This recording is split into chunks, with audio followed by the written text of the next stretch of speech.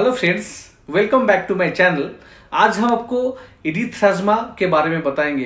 ये इरिथ्राजमा क्या होता है और क्यों होता है और इसका ट्रीटमेंट के बारे में भी आपको बताएँगे। तो बने रहिए लास्ट तक। चलिए शुरू करते टॉपिक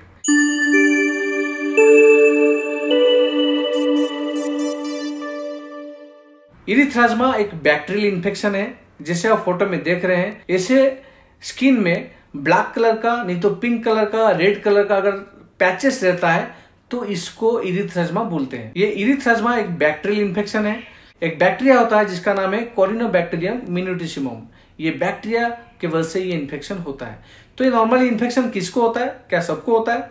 नहीं, सबको नहीं होता है, लेकिन कुछ कुछ लोग में ये ज़्यादा होता है। किन में होता है? जो लोग थोड़े मोटे होते हैं, जिसका डायबिटीज़ रहता है, और जो लोग ज़्यादा स्वेटिंग वाला कंडीशन यानी जहाँ पे गर्मी होता है, वहाँ पे ज़्यादा काम करते हैं या रहते हैं तो वहाँ पे लोग का ज़्यादा होता है। और जो लोग का इम्यूनिटी कम है, कोई भी बीमारी की वजह से अगर उनका बॉडी पावर कम है तो वहाँ पे भी बैक्टीरिया इन्फेक्शन होता है, जिसकी वजह से वहाँ पे होता है। कुछ कुछ लोग अपना कपड़ा ज़्यादा शेयर करते हैं दूसरे के साथ, जैसे कि हॉस्टल में बच्चे लोग करते हैं दोस्त के साथ, कोई पुलिस बाराक में आर्मी कैंप में तो वहाँ पे होता है नर्सिंग होम में भी होता है तो उस केसेस में वहाँ पे ये बैक्टीरियल का इन्फेक्शन ज़्यादा पाया जाता है। तो चलिए जानते हैं ये कितना टाइप का होता है, ये नॉर्मली तीन टाइप का होता है।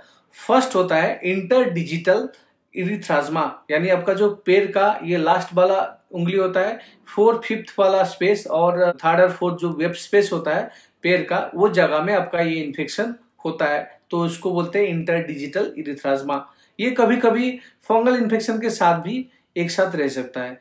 सेकंड होता है इंटर ट्रिजिनस इरिथ्राजमा यानी इंटर ट्रिजिनस एरिया मतलब बॉडी में जहाँ पे दो चमड़ी एक साथ रहते हैं पास पास रहते हैं, जहाँ पे घिसता है तो उसको बोलते हैं इंटर ट्रिजिनस एरिया यानी आपका बगल में जहाँ पे ये दोनों स्किन पास पास रहते हैं। नहीं तो फीमेल में ब्रेस्ट के नीचे नहीं तो आपका ग्रॉइन के एरिया में और जो लोग मोटे होते हैं यहाँ पे पेट में अगर चर्बी जमा रहता है तो उस फोल्ड में भी ये इन्फेक्शन हो सकता है। इसको बोलते हैं इंटरट्रिजिनस इरिथ्राजमा और एक होता है जनरलाइज इरिथ्राजमा जिसको बोलते हैं डिस्की फॉर्म इरिथ्राजमा ये नॉर्मली पूरा बॉडी में कहीं भी हो सकता है। ये बहुत रेयर है और ज़्यादातर फीमेल में ज़्यादा पाया जाता है। ये जो इन्फेक्शन है, जैसे हमने बोला, ये बैक्टीरिया से होता है कोरिनो बैक्टीरिया मिनोटिसिमस तो ये सेम बैक्टीरिया और भी दो बीमारी करता है, जिसको बोलते हैं पीटेड केराटोलाइसिस जैसे आप फ़ोटो में देख रहे हैं।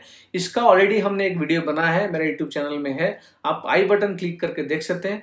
और एक इन्फेक्शन होता है ट्राइकोमाइकोसिस एक्सिलरीज ये भी हमने वीडियो बनाया है, इसको भी आप मेरे चैनल में देख सकते हैं। तो ये सेम बैक्टीरिया तीनों इन्फेक्शन करता है। तो इसमें क्लिनिकल फीचर क्या होता है? पेशेंट को क्या प्रॉब्लम होता है? क्या तकलीफ़ होता है?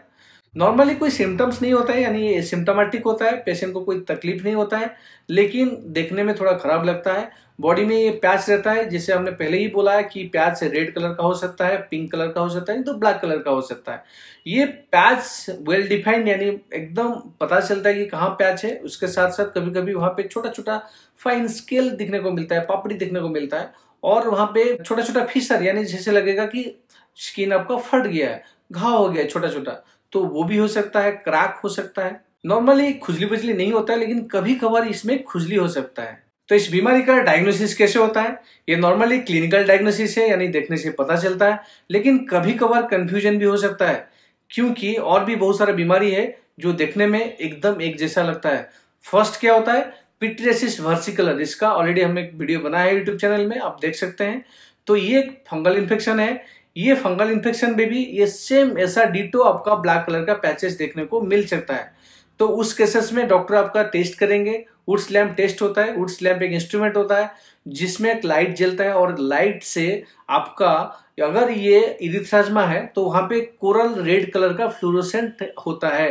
क्यों होता है? क्योंकि ये जो बैक्टीरिया है, आपका वहाँ पे स्वेट को खा के वहाँ पे एक पोरफायरिन बोल के केमिकल रिलीज़ करता है। और ये जो पोर्फायरिन होता है, आपका ये जो वुड स्लैम का लाइट को ऑब्ज़र्व करके वहाँ पे ये जो फ्लोरेसेंस का लाइट रेड कलर का लाइट देखने को देता है। इसीलिए ये डायग्नोसिस हो जाता है। और कभी कभार आपका और भी बीमारी, जैसे आपका सेबोरिक डर्मेटिटिस होता है, कैंडिडियासिस होता है, इन्वर्स सूरियासिस होता है, ये सारे वीडियो हमने ऑलरेडी यूट्यूब चैनल में बनाया है, आप देख सकते हैं।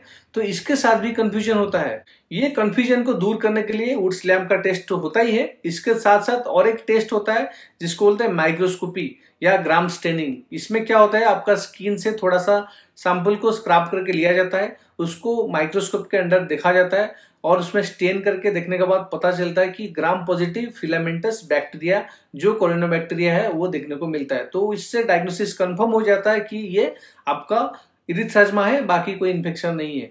बाकी सारे इन्फेक्शन के बारे में आप यहाँ पे बताएँगे नहीं, क्योंकि ऑलरेडी इसका वीडियो हम बनाया है। आप मेरा चैनल में देख सकते हैं, क्योंकि ये वीडियो बहुत लंबा हो जाएगा।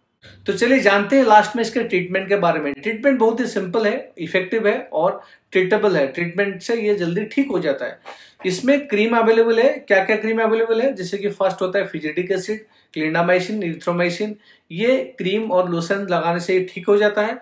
अगर किसी का ज़्यादा सीवियर है और ये नहीं ठीक होता है क्रीम से तो उस केसेस में आपका जो स्किन का डॉक्टर है, आपको खाने के लिए ओरल एंटीबायोटिक दे सकते हैं, जिसमें आपका टेट्रासाइक्लिन नहीं तो इरिथ्रोमाइसिन का टैबलेट आता है, जिससे आपको ये ठीक हो जाता है। और क्लोट्रीमाजल का पाउडर आता है, ये लगाने से भी देखा गया है कि इसका रिकरेंस यानी बार बार होने का चांसेस कम हो जाता है।